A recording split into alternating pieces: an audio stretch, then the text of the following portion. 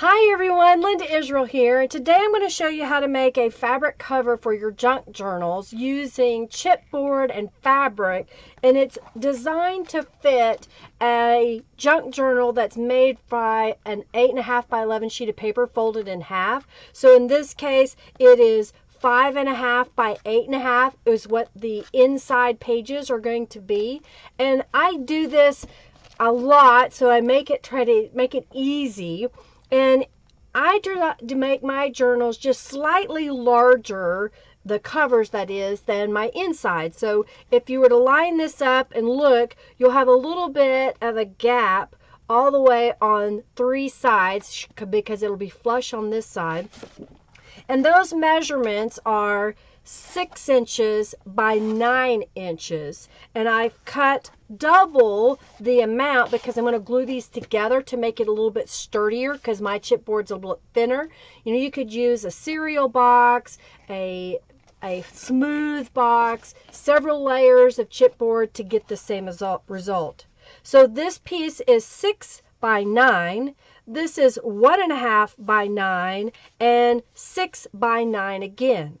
Then I cut a piece of fabric that is about, when you put the three pieces lined up together, about an inch of all the way around extra. And in this case, this piece of fabric measures 15 and a quarter inches by 10 and a half inches. And then I have some leftover bits. So what I'm going to do first is I'm going to go ahead and adhere all of these together stacked on one top of the other so that they'll be stronger and they won't move around on me. So I'm just using Aleene's tacky glue and going down and around and zigzag through the middle. And then I'll stack these together like so. And smooth those out and I'll do the same here. So now that I have those adhered on top of each other, I'm going to line this up, making sure I get them in the center. So I'm going to find the center.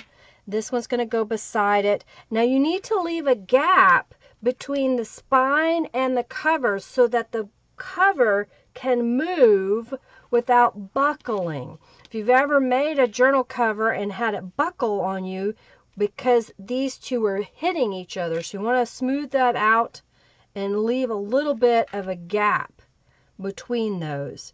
And what I like to do is I start with the center, so I'll pick this up and adhere it directly to the fabric. Now you'll want to use a nice fabric that you can't see through. If you do have a see-through fabric, just use two layers or find another color to go underneath to cover up the chipboard. And I just glue them as one layer all together.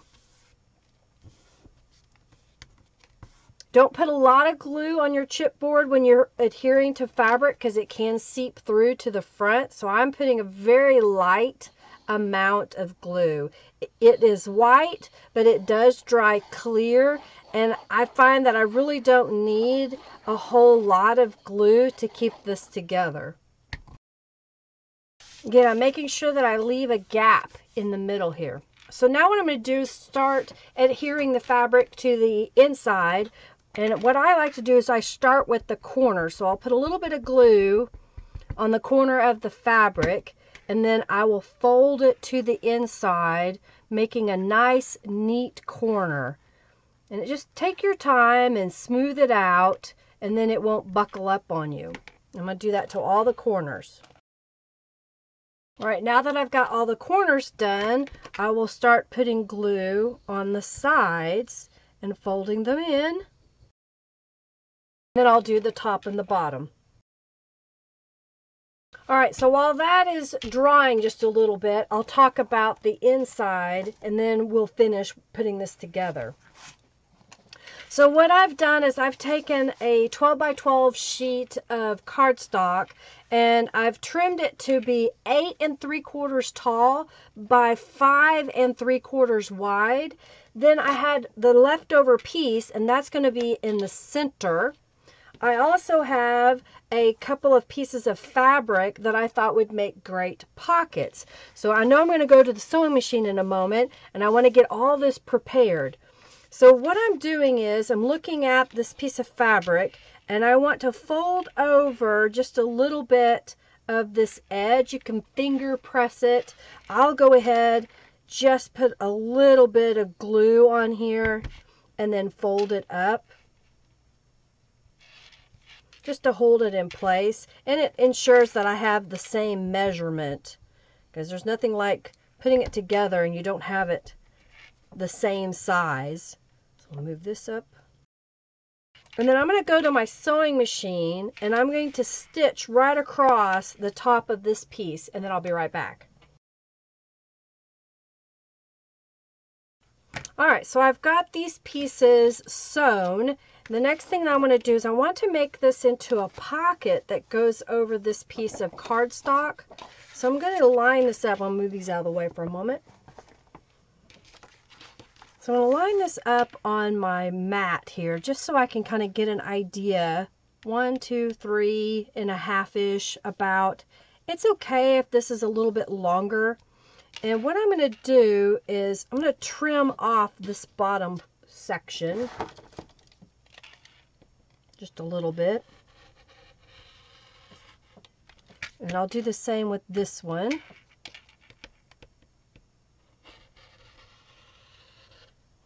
I like this rotary cutter and since I've got my mat it makes it so much easier.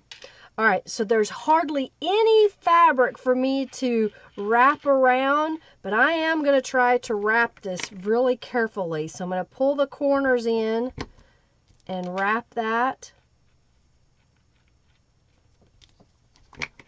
So you want to make sure you leave yourself enough room whenever you're using fabric to be able to wrap it. You could just glue it directly, but I want to make sure that I have the full pocket available to me. I'm just putting a little bit of glue on the sides and then I'll wrap this to the back. And basically, since I'm going to be sewing this, I just want to make sure that this isn't going to come undone. If I weren't sewing this, I would either attach another piece of paper or fabric on this back side. You could even use tape to tape it down. And then I'm going to fold up the bottom. And I'm going to repeat this on the other half of the cover.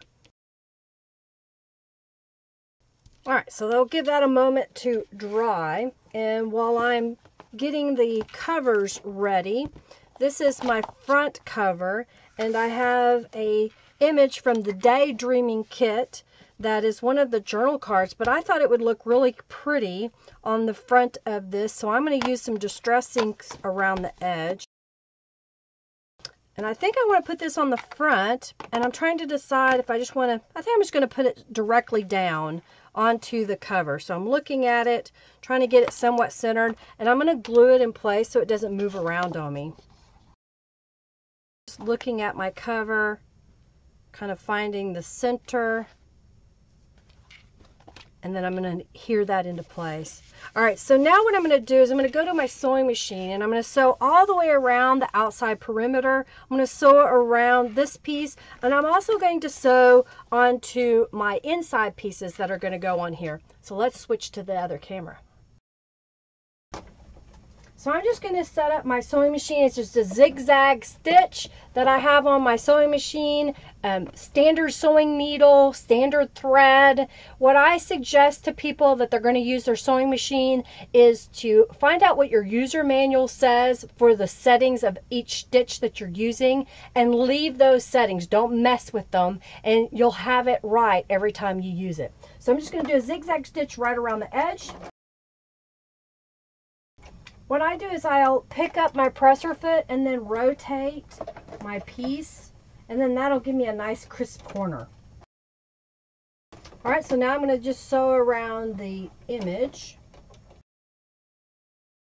And that's been sewn around. So now what I'm going to do is this is going to be the center spine and I want to sew across the top and the bottom just so that it'll have consistency when you look at the inside cover. You'll see in a moment what I mean.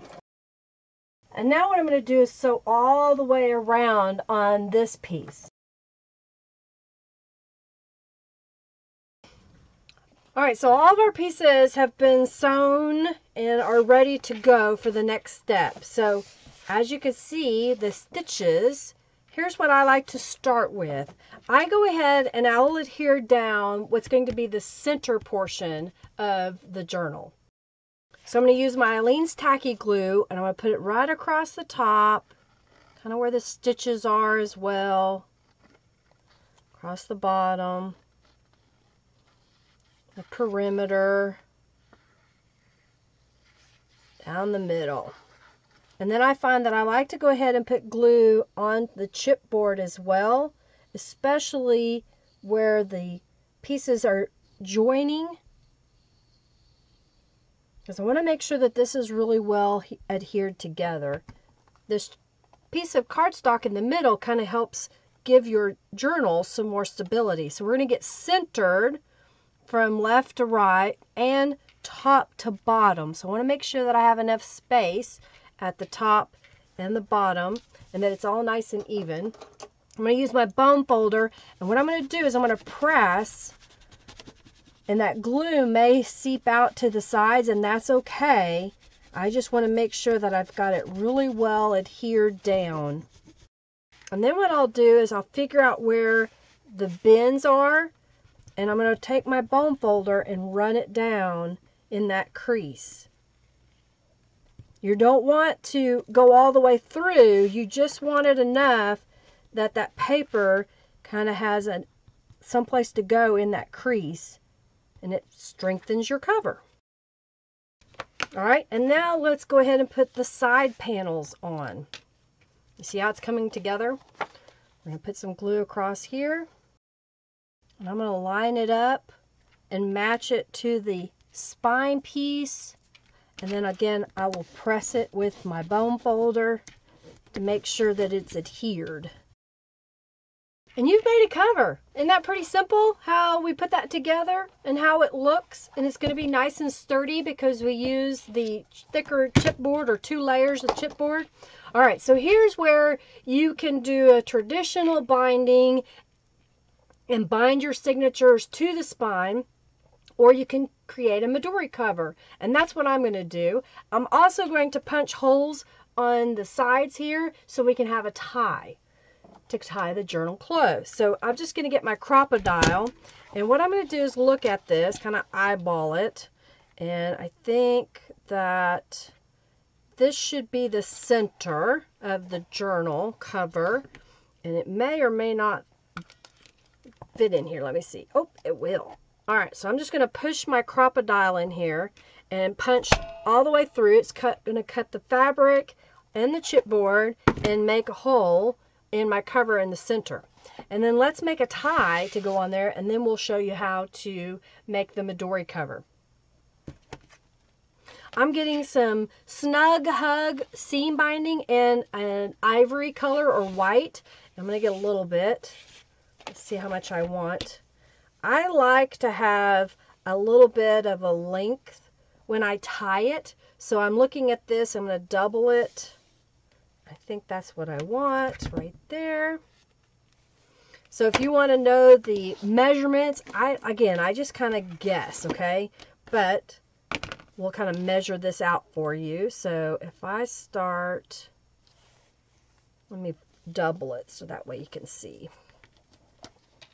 So if I start here, 1, 2, 3, 4, 5, 6, 7, 8, 9, 10, 11, 12, 13. So 4 times 13. That's what I would suggest. All right, so what I'm going to do is we're going to spray this with Tattered Angels Glimmer Mist. So I'm going to get my spray box that I like to spray things in. Just getting it ready here. And what I'm going to do is just kind of free flow, kind of mess it around. There's a lot of color in this journal, so I think I'm going to mix it up just a little bit and use a pink, maybe a green, some purple, maybe even a blue. So I've got different colors of Tattered Angels. These are all from the Royal Peacock paint set, and this was from the Royal Peacock kit. And I think I'm going to shake these all up, see which ones I want to use here. I think I'm going to use Let's do a little bit of the green on here. So I'm going to spritz that just in a couple of places. It's okay if it moves around. I'll put a little bit of the pink on here. And let's do this tealy kind of color. Oh, I think I'm liking this because it's the tealy kind of color is helping the others blend together. I'm going to add a little bit more pink. And it'll come out a little more pastel. I'm not even going to use the the other purple. I'm going to dry this with my heat tool. Now, I know it looks really dark on camera, but it's not that dark in person. I really like how this turns out whenever you dye it yourself. So I'm just going to take this and cut it in half. Now I've got a little string here. So what I'm going to do is take this and fold it in half. I'm going to take my string through the folded side and I'm going to pull it through this hole. I find it's easier to try to get fibers through a hole if you use a smaller fiber or thread. And then I'm just going to pull this through on itself. Okay, and then I'll repeat that on the back side. So now we have the tie. So now let's work on the inside where we're going to put the Midori elastic. All right, so whenever I make a journal, I make a little template. And if I was going to go ahead and sew the signatures direct on here, I would use this template to mark out all the holes that I need to punch. Well, it also doubles to help me in marking where I need to put the holes for the elastic for the Midori style cover. So pardon me while I get on top of this to look. All right, so what I'm going to do is I want a hole in the center and I want a hole here and a hole here. So I've got three marks at the top and then I'm going to come down here to the bottom and do the same thing and make three marks. So now I can see those. And I save my template. I have a little bag that I put it in. And now what I'm going to do is take my Crop-A-Dile again, but this time I want the smaller hole. Um, this is, I think it's a 1 8th of a hole inch. So I'm going to go in here and punch the holes. Again, it'll go all the way through all the layers. And I'm going to do this on this side. Now, some people like to go ahead and put eyelets. I don't. You don't have to if you don't want to. It really depends upon how heavy your cover is. If your cover is really flimsy, then you may want to put grommets on there, but I don't. And then I'm going to use jewelry elastic. So this is elastic that you see in most craft stores in the jewelry department. I believe I got this at either Joann's or Michael's. Um, you can also buy it on the internet. I'll try to provide a link uh, in the description box for those of you that want to be able to buy this. And what I have found is if I start on the inside and I'm going to start on this first hole, I'm going to be putting three inserts into this journal, but I'm going to go ahead and have four bands so that if you want, you could put a fourth journal in here. And basically, I'm just feeding this, started here, went to the front, down, up, and then I'm back here at the beginning of the top.